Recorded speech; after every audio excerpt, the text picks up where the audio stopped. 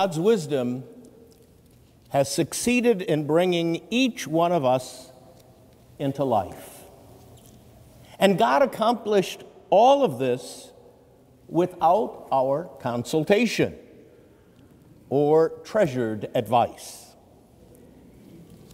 Even lacking our sage guidance, the Lord God began to knit us together in our mother's wombs. As St. Paul reminds us in the first reading, God's wisdom is always greater than our own. The circumstances of our creation, whatever they might have been, belong to God's providence. Yet we all now benefit from that divine decision. We are young and old, white and black, left handed and right handed, but each one of us is the gift of God's design. To see and value each other as a product of God's wisdom is to understand the true meaning of sacred scripture that praises God and His design over all of creation. Nonetheless, God's providence in creating human life is not limited to just us or to those who are like us or pleasing to us. God's wisdom is also to be found in the lives of those who are not like us in any fashion. Even to those who may have done terrible things to other people, who are, who, or who are just inconvenient to us or unattractive in our opinion. God's wisdom and providence is to be found in every life that He has fashioned. And a dated phrase from my own youth once reminded people that God doesn't make junk. 44 years ago, a disappointing Supreme Court decision contradicted providential wisdom and ruled that the Lord does, on occasion, make junk, and that some human lives are worthless. This decision dared to suggest that God's wisdom was mistaken.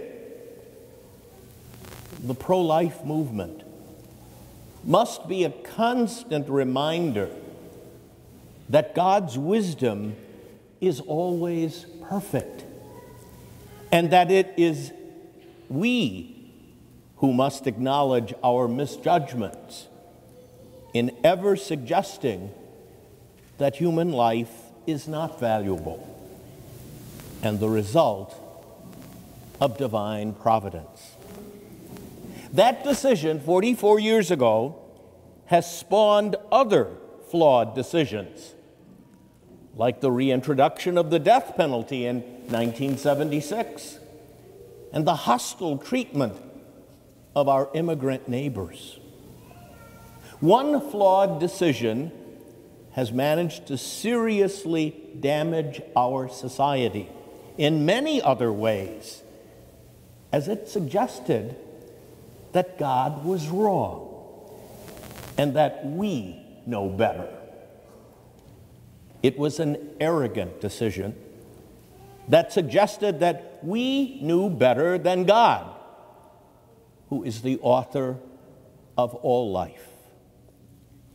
Each year since that sad moment 44 years ago, people of faith and goodwill have paused to reflect on the implications of that judgment. We have witnessed the increasing violence that has haunted our world in the slaughter of innocent lives within the womb and the hostility of violence that have occurred in the wake of that decision.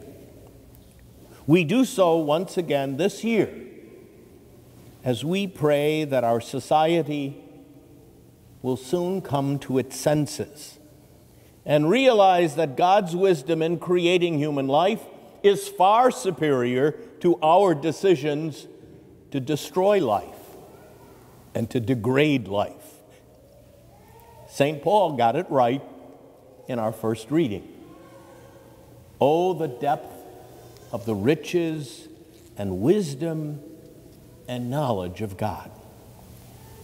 May our nation restore the respect that all human life deserves because it, is, it always comes from the hand of a God who is far wiser and far more loving than any one of us might ever dare to consider themselves. You see, God got it right in the first place. Amen.